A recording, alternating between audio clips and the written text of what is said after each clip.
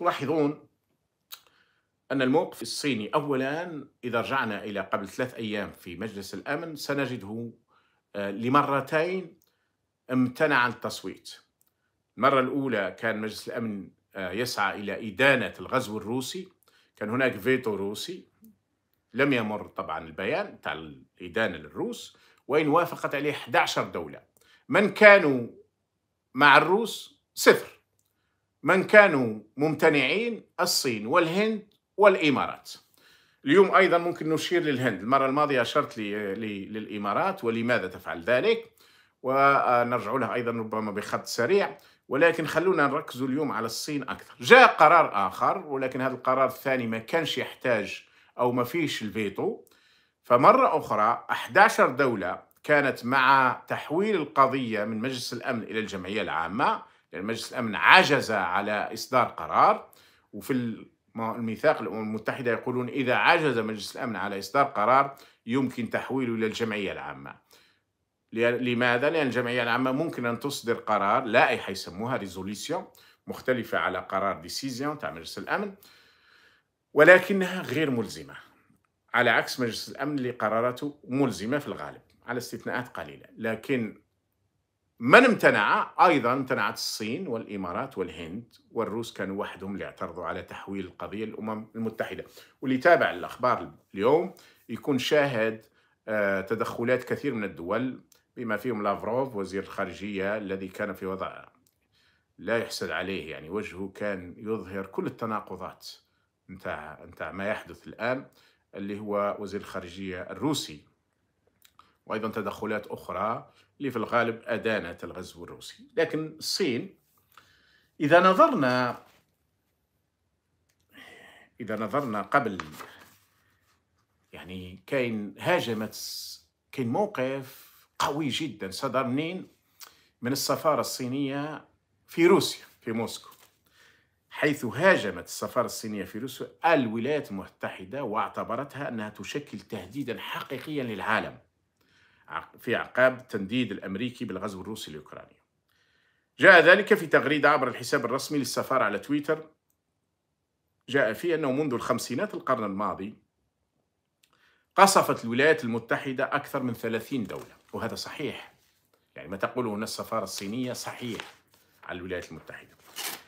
وأبرزت السفارة أيضا في منشور لها أو في تغريدة لها من أنه من بين 248 نزاعا مسلحا وقع في 153 منطقة من العالم ما بين عام 45 وعام 2001 كانت الولايات المتحدة طرفا في 201 أي أكثر من 80 أو أو ما يعادل 80% من كل النزاعات التي حدثت 81% التي حدثت في العالم. 248 نزاع منها 201 الولايات المتحدة.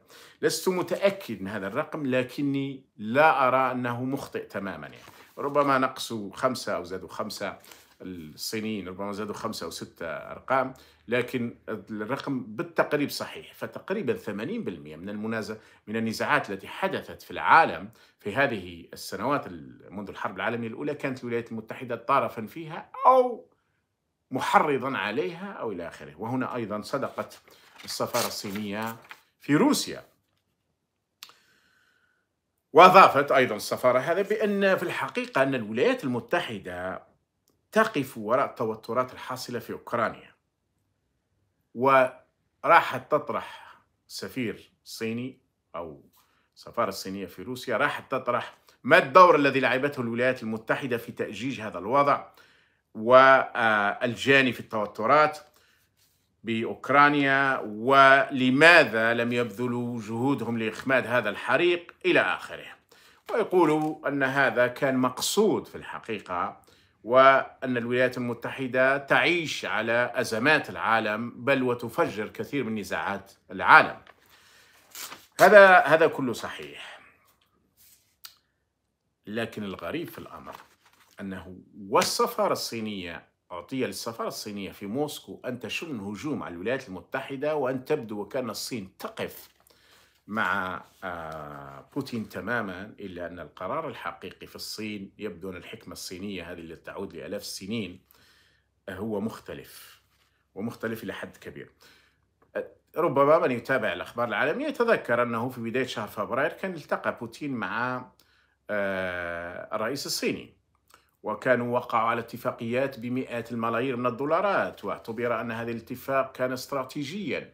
طبعا بوتين كان في ذهنه أنه سيغزو أوكرانيا وأنه إذا غزا أوكرانيا فهو يعرف أن الموقف الغربي سيكون شديد ضده وهو في الحقيقة اليوم أشد مما توقع في قناعتي. وأنه في هذه الحالة سيعتمد على الصين. لأن الصين هي ثاني اقتصاد في العالم وإذا الصين فتحت أسواقها واشترت وباعت مع الروس فإن الروس يستطيعون إلى حد ما أن لا يخنقهم العقوبات الغربية.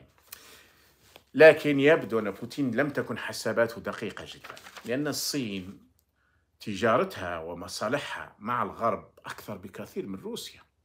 روسيا هي اقتصاد رقم 11 في العالم وهي أساسا مصدر للبترول والغاز وكثير وبعض المعادن خاصة المعادن النادرة والحديد وأيضا القمح والصويا والشعير إلى آخره. لكنها ليست الولايات المتحدة. فاقتصاد الولايات المتحدة هو 22 ألف مليار دولار. حجم الاقتصاد في العام كل عام. يعني ما تنتجه الولايات المتحدة كل عام اقتصادها هو 22 ألف مليار. الجزائر 160 مليار للأسف. أقل من واحد واحد في المية أقل من واحد في المية من الاقتصاد الأمريكي. إذا آه الصين ترى ذلك وأن لديها علاقات هائلة مع الولايات المتحدة ثم مع الاتحاد الأوروبي أيضا. الاتحاد الأوروبي أيضا في مجموعه هو يجي ثاني اقتصاد بعد الولايات المتحدة. لو جمعنا الاتحاد الأوروبي ككل وبالتالي لا يمكن أن تفرط الصين في هذا. ولذلك من ناحية بالرغم من أن الصين تعرف أن الولايات المتحدة هي التي توقفها على ضم تايوان التي تبعد على 160 كيلومتر من على الصين الشعبية. وتعرف أن تايوان لولا الولايات المتحدة والغرب عموما والولايات المتحدة خصوصا لكانت تايوان الآن جزء مثل مثل هونغ كونغ من آه، الصين.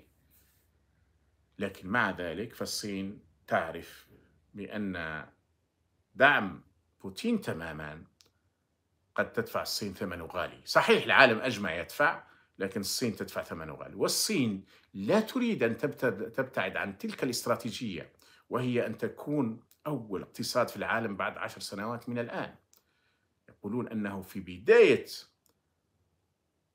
1930 في السنوات الأولى ستكون الصين إذا لم يحدث شيء يغير العالم بشكل استراتيجي وكبير فتكون الصين هي أول اقتصاد في العالم مع الولايات المتحدة ثم تتجاوزها مع نهاية 1930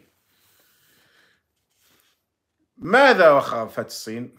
في الحقيقة الآن الصين مشدين العصا من الوسط. في سفارتهم في موسكو تهاجم بقوة. الإنترنت في الصين يهاجمون الغرب. وعموما يعني الإنترنت والمواطنين الصينيين ومفتحين لهم باش يهاجموا بشكل كبير جدا. ولكن الموقف الرسمي الصيني هو أنه أن الصين لم تدين الغزو الروسي ولكنها لم تتقبله في نفس الوقت. فالصين قالت بأنها تحترم سيادة الدول وأنها لا تقبل أن يتم الاعتداء على الدول المعترف بها. طبعا لأن تايوان مش معترف بها عالميا إلا في حدود ضيقة جدا. بينما أوكرانيا هي معترف بها عالميا وهي دولة مستقلة إلى آخره. أخذت الصين هذا الموقف. وهذا قد يكون مؤلم جدا لبوتين ربما لأنه بعد توقيعه على اتفاقيات بمئات الملايير من الدولارات في بداية فبراير وبعد أيضا ربط استراتيجي في عدة مجالات.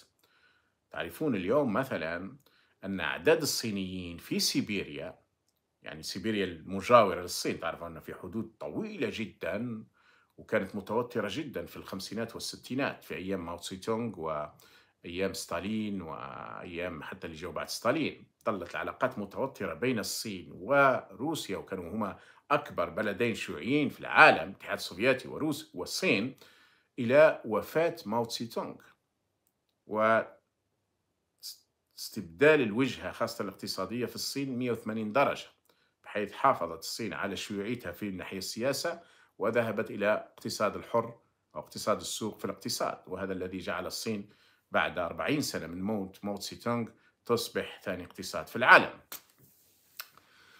إذا الصين الآن تقول من أنها لا تقبل غزو الدول ولكنها لا, تقبل الاعتداء على سيادة الدول ولكنها لم تدين الغزو الروسي. تريد أن تحافظ على هذا وذاك. بالنسبة قلت أن في سيبيريا المحاذية للصين أعداد الصينيين ملايين الصينيين في تلك المناطق يدخلوا إلى روسيا وهم يشتغلون. يعني فيه مدن مجاورة للحدود الصينية لا تقريبا لا يوجد فيها روسي تقريبا يعني.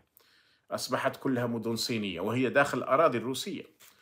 وروسيا عندها واحدة من الإشكاليات الكبرى من ناحية استراتيجية هي أنها لديها مساحة أكثر من 17 مليون كيلومتر مربع. صحيح جزء من كبير منها هو السيبيري وسيبيريا أي بارد جدا يعني.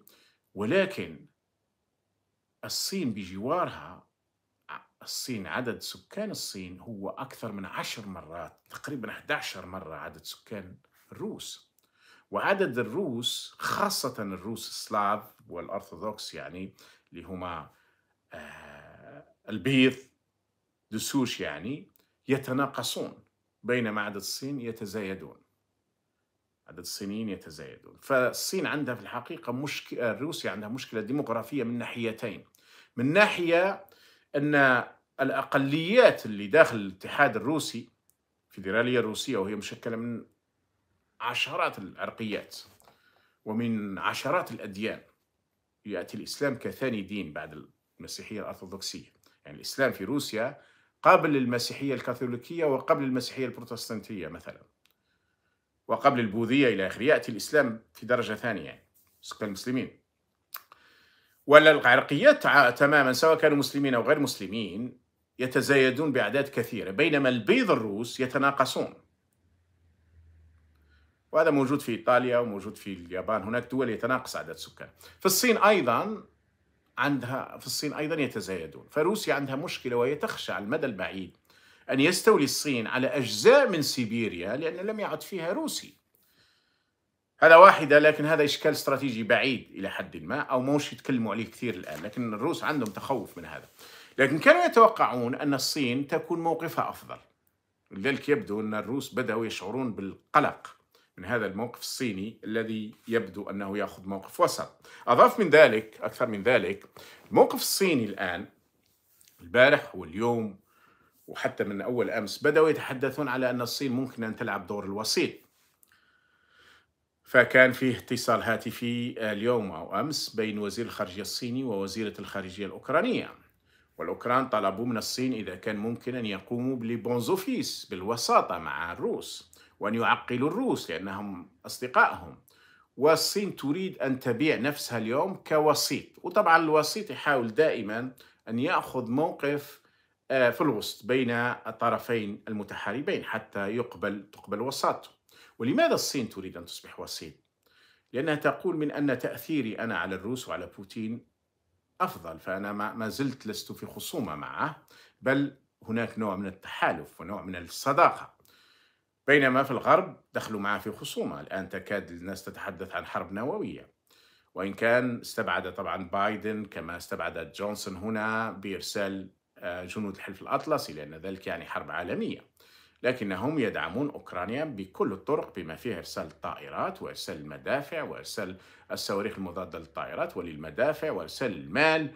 وشفتوا الآن يقربون دخول إلى إلى الاتحاد الأوروبي إلى آخره.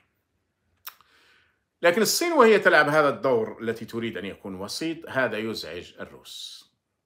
ضيف إلى ذلك أن الأمريكيين قالوا للصينيين والغربيين عموما قالوا للصينيين صراحة من أن اختراقهم للعقوبات بمعنى أننا نحن نوقف التعامل مع بنوك روسية ونضعها في قائمة سوداء والتعامل ونوقف التعامل مع البنك المركزي ونضعه في قائمة سوداء جمدوا لهم أكثر من 500 مليار دولار.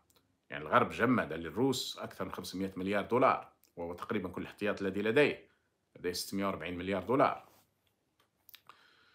قالوا لهم بصريح العبارة أن شركاتكم التي قد تتعامل لرفع الحظر على الروس قد تدفع هي الثمن أيضا. طبعا الصين إذا قبلت بذلك ستدخل في مواجهة مع الغرب ولكنها لا تريد مواجهة مع الغرب. مرة أخرى تريد استكمال وصولها إلى الدور الأول كأقصى كأقوى الاقتصاد في العالم. ثانيا ترى من أن بوتين أحرجهم ودخل في معركة قبل الوقت. ثالثا أن الصين لا تؤمن وتقول بصريح العبارة أنها لا تؤمن بغزو أو بهدم سيادة الدول لأن هي تعرف أيضا هذا لماذا تقول هذا. فمن كل تقول هذا خاصة لأنها تريد أن تضغط على الأمريكيين لأنه في الغالب الأمريكيين والغربيين عموما هم الذين لا يهتمون بسيادة الدول ويقومون بالغزو أو يقومون بتدخلات إلى آخره. فهي تريد أن تبني نظام عالمي مبني على احترام سيادة الدول وبوتين بهذا الدور في الحقيقة دخلهم في معركة. يعني مثل ما يكونوا زوج أصدقاء واحد عاقل وواحد خفيف. أو يكون حتى زوج وزوجة واحد منهم مثلا الزوجة عاقلة والراجل خفيف. فيكون تصرفات عندما يقوم بالتصرفات يقدر يوصلك يدخلك في حيط. ممكن المثال يمشي خاصة مع الأصدقاء. فهو الصين يرون ذلك. يرون بأن آه، بوتين يعني هذا ما زال ما قالوش لكن بدأ يتضح من خلال بعض التصرفات بما في هذا الاتصال بين وزير الخارجية الصيني ووزير الخارجية الأوكرانية ورحب الوزير الخارجية الصيني بأنه يريدون أن يقومون بدور وساطة. عموما بالنسبة للصين إذا يبدو أنها تذهب في اتجاه لن ندين الغزو الروسي ولكننا لن نناصره. لن ندخل في خصومة مع الروس ولكننا لن نساعدهم كما ظنوا أو كانوا يتوقعون. صحيح ستشتري بعض الأشياء من عند روسيا وستبيعها بعض الأشياء. التي هي غير ممنوعة غربيا. يعني الغرب لحد الآن لم يمنع الغاز والبترول الروسي. لماذا؟ لأن الدول الغربية خاصة في أوروبا يحتاجون إلى 40% من الغاز في أوروبا هو من روسيا و30% من البترول في أوروبا هو من روسيا. فهم لم يضعوا هذين المادتين الحيويتين جدا تحت العقوبات. فإذا الصين ما عندهاش مشكلة في التعامل البترول والغاز. وربما أيضا في قد يسمحون بالقمح ويسمحون ببعض المواد. الصين قد تطلب إعفاءات على العقوبات في بعض المواد لكنها إجمالا لن تخترق العقوبات الغربية لأن الأمريكيين قالوا لهم بصريح العبارة إذا اخترقتم عقوباتنا ستدفعون أنتم أيضا ثمن وشركاتكم التي تخترق العقوبات ستوضع هي أيضا في قائمة العقوبات. والصينيين وهي حكمة صينية يبدو لا يريدون أن يعطوا لبايدن الذين يعرفون من أنه عندما ينهي موضوع بوتين سيتوجه إلى الصين لا يريدون أن يعطوا له تلك الفرصة. أعطاهم الفرصة. طبعا بوتين كان تحت ضغط شديد جدا ويبدو أن الغربيين نجحوا في استفزازه وفي استقدامه لأوكرانيا لأن الغرب في النهاية يغضب يصرخ يساعد أوكرانيا لكن ليسوا أوروبيين غربيين هم الذين يموتون. في النهاية يعني سيموت الأوكران والروس. والاقتصاد الروسي يتم الآن ضعضعته بشكل كبير جدا. سننظر فيه أيضا بعد قليل. هذا الموقف الروسي واللي كان البروباغندا الروسية وأنصارها وأذنابها وأتباعها في العالم حتى في العالم العربي وبعض القنوات والمواقع. أنا شفت لي موقع صاحب عنده واحد هذا يسميه روح الرأي العام. آه، صراحة يعني شفت له مقال صدفة أول أمس يقول فيه بأن الرئيس الأوكراني هرب وأن بوتين سيطر على يعني ذلك ال wishful thinking هذاك التمني هذا يعني واحد يحب أن بوتين ينتصر ويبدأ يصور في الصورة من أفضل ما يكون. هذا ليس صحيح. هذا كذب على الناس. وبعدين حتى الرئيس الأوكراني الآن يعني تزيد شعبيته وهو لأنه ظاهر أنه لم يغادر بالرغم أنهم عرضوا عليه. مع إدانتنا أنا قلتها أمس ونزيد نكررها اليوم لأن هذا الموقف هذا الرئيس الأوكراني كان موقف مع الكيان الإسرائيلي وهو وقت المدنيين الفلسطينيين بشكل بشكل كبير جدا. وانتقد المقاومة الفلسطينية ولم يرى الطائرات الإسرائيلية التي كانت تهدم الأبراج وتهدم البيوت على رؤوس آه، المدنيين. لكن الحقيقة أيضا تقال to be fair to him أن نكون منصفين أنه بالعكس لم يغادر وكان يستطيع أن يغادر ويذهب إلى أي مكان عندما قامت الحرب. هذون هما هذه النوعيات هما اللي يوصلوا للشعوب أو اللي تبعهم أشياء خاطئة تماما. يعني قد يعني يقدموا لهم أوهام. هذا يذكرني أنا بجماعة آه، فرنسا راحت آه، راحت تسخن الحطب هذا الشتاء. هاي تسخن فرنسا الحطب. كنا نسمعوا فيها في 2019 عندما كان ما يسمى بالنوفمبرية النوفمبرية النوفمبرية المكذوبة المخدوعة. وخدعوا بها كثير من الشباب. وفرنسا راح واحد خرج معناته برمنغهام خرج قال لهم سترون. سترون يعني يعني هذا الناس مفروض أنهم ينتحروا يعني. على الأقل معنويا ما يزوش يظهروك نهائيا. لماذا؟ قال لك ستجدون الفرنسيس في طوابير طويلة تطلب الفيزا للدخول للجزائر. هذه كانت تمر على كانت تمر على بعض الناس. وكان المساعد يبعث لي يقول لي شوف بعض الناس راهم يقولوا لك علاش انت راك تكحلنا في الحالة وتكحلنا في قايد صالح؟ هاو الفرنسيس رايحين يجوا يطلبوا لنا الفيزا باش يدخلوا يخدموا في الجزائر. ورايحين يتسخنوا هذا العام. القايد صالح راح يقطع عليهم الغاز. شو الاستهبال؟ شفتوا الاستغبال شفتوا الاستحمار؟ ويسموا رواحهم وكانوا يزعمون أنهم معارضين أو أنهم آه مانيش عارف وقفوا مع القايد صالح. وش هذا. وين راه القايد صالح؟ ضربوه بحقنة وراه تحت القبر. وين راهم جنيرات القايد صالح؟ الاغلبيه العظمى راهم في السجون. وين راه الحطب اللي تسخنت به فرنسا؟ شوفوا لنا كاش ما بقى لهم شوية حطب يبعثوه لنا. لأن كاين أماكن في الجزائر ما عندهم لا غاز لا حطب. أين هذا الاستهبال هذا؟ ونفس الشيء ذاك. قناة الميادين هذا تاع الرأي العام مانيش عارف. ياخذوا ياخذوا أوهامهم ويبعثوها للناس ويولي لا تعترض على هذه التحليلات ال... ال... مش ساذجة الحمقى الغبية اللي يخدعوا بها الناس تقول لي آه أنت ماكش تحب الخير أنت راكم أنتم تاع الغرب. هل أدان ويدين أمثال؟ يعني أنا عندي 25 سنة وأنا أدين الله أكثر من ذلك. 27 سنة الآن. يعني لولا الغرب لما قام الانقلاب في الجزائر أو على الأقل لما استمر. وخاصة فرنسا اللي وقفت مع الانقلاب. هل يزايد علينا واحد في هذا؟ لكن لا نحن لا نبيع الأوهام.